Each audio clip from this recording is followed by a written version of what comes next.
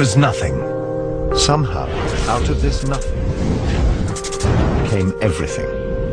Out of this vibrant nothingness, matter, energy, space, time, consciousness, mind emerged, came out. How is it that something as unconscious as the matter of the brain can ever give rise to something as immaterial as an experience? If you want to see fear in a quantum physicist's eyes, just mention the words, the measurement problem. The measurement problem is this. An atom only appears in a particular place if you measure it. In other words, an atom is spread out all over the place until a conscious observer decides to look at it. So the act of measurement or observation creates the entire universe. Only conscious beings can be observers, then we're intimately hooked in to the very existence of reality. Without us, there would just be this expanding superposition of possibilities with nothing definite ever actually happening. Out of millions and millions of blobs of energy and light, photons and electrons, they make up this uh, imaginary three-dimensional solid world which doesn't exist at all according to uh, relativity or quantum mechanics. Anytime we attempt to look at particles beyond a certain level, the very act of observation changes things. And in addition, the more you look at individual particles, the more you realize that there is no such thing as one electron. An electron or any elementary particle exists only in relationship to other things, like other particles or, or the universe at large. This means that, that deeply enough, when you dive down into the nature of matter, everything we know about the, the everyday world dissolves.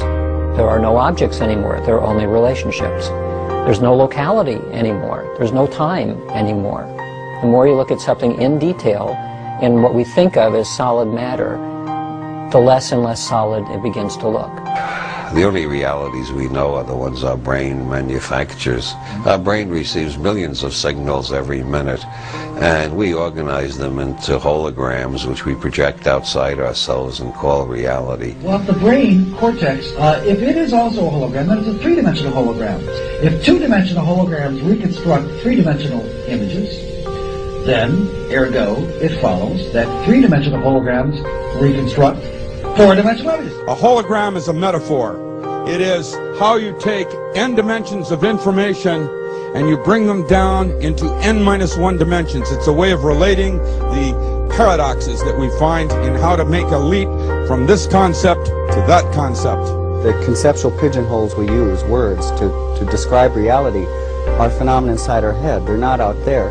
And most of the time, this is a philosophical quibble. When, but when you get down to quantum physics, and this is one of the reasons that Bohm came up with the holographic idea, it, it starts to have real effects. And one of those is it's been discovered that if you take uh, two subatomic particles like electrons, in certain instances, when you do something to one, it will always affect the other, no matter how far apart they are. Well, how can this be? But what this tells us is that once matter is physically joined, even when it becomes separate, the energy is still there that's connecting it.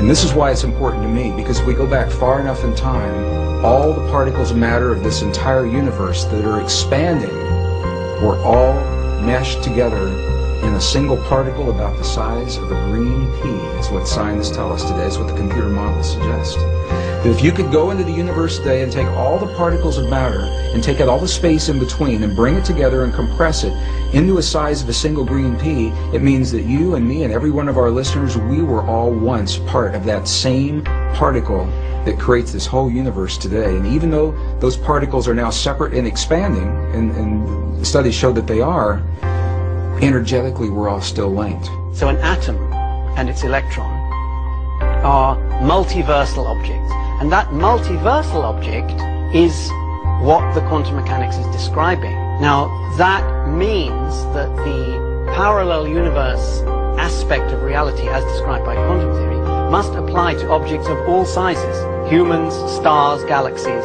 everything. And that's why we call it the parallel universe theory rather than just parallel electrons theory. Because we ourselves are made of atoms after all. We are, and, and uh, that's right. And the same theory that says that the atoms exist in more than one place in different universes says that we humans also exist in more than one place and in more than one state of mind and so forth in different universes. And so what that means, talking about words, is that there is no separation between electrons. Furthermore, there's no separation between people. Everything is interconnected. And the biggest secret of all, to me, is the extent to which individuality is an illusion. Illusion comes from how our minds perceive. My illusion comes from my mind. Your illusion comes from your mind. Do not need to search You do all, not all need to search anywhere else for the source of illusion. Wherever we search externally, we cannot find the source of illusion because your illusions come from within your mind. The big thing we're talking about here is a new way of thinking about this thing we call the person, the self, the beingness, the I. And as we begin to modify what we mean by that, we could begin to see and touch upon this infinite realm that I'm speaking about. Infinities are part of the boundary of your existence. That is, viewed from this perspective, everything can be divided to infinity. If you've ever wondered why nuclear power is a million times more powerful than chemical energy, it's because chemical energy results from the manipulation of atoms in a molecule. Nuclear energy results from the manipulation of nucleons in a nucleus. The super unified scale, a thousand, million, million, million times smaller, is virtually infinite in its dynamism. If you're seeking the infinite, what instruments do you have to seek the infinite? Only sense organs, isn't it? So through your sense organs, if you're seeking the infinite, it is like wanting to go to moon with a bullock cart. Isn't it so? That is the plight of humanity right now. With a limited perception, they're trying to grasp that is which is beyond. So we try to perceive at the ultimate level of reality, and we search for any kind of method. For example, new technology, atomic power, etc. But search as we might, we cannot perceive the ultimate level of reality using these mechanisms. The ultimate level of reality is fundamentally empty We cannot find and it not in- observable using these scientific methods. Science is involved in a perceptual enterprise, not in, not primarily in gaining knowledge, though knowledge appears, but knowledge is a byproduct.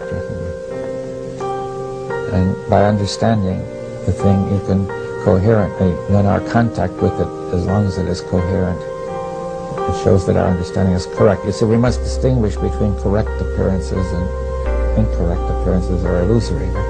Your appearance now is what we call residual self-image. It is the mental projection of your digital self.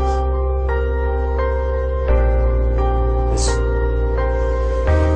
this is real. What is real? How do you define real? If you're talking about what you can feel, what you can smell, what you can taste and see, then real is simply electrical signals interpreted by your brain. Our brains take information in and sometimes give it a form. It's not that the picture is out there, it's that we're getting data that we're turning into a picture according to our own belief systems and our own unconscious belief systems as well. We know what is going on is that light comes in through the eyes, hits the back of the retina, triggers electrochemical impulses which travel down nerve fibers to the back of the brain, where the brain very cleverly, in about a tenth of a second, puts it all together and says, this is what it looks like out there. Well, uh, you're creating your own reality tunnel. That doesn't mean you're creating reality. Uh, out, out of reality, whatever that is, out of the infinite flux of energy, you're creating your own uh, reality tunnel, and uh, uh, most people aren't aware of it. Most people aren't aware of it. All matter is merely energy condensed to a slow vibration. That we are all one consciousness experiencing itself subjectively. There is no such thing as death. Life is only a dream. and we are the imagination of ourselves.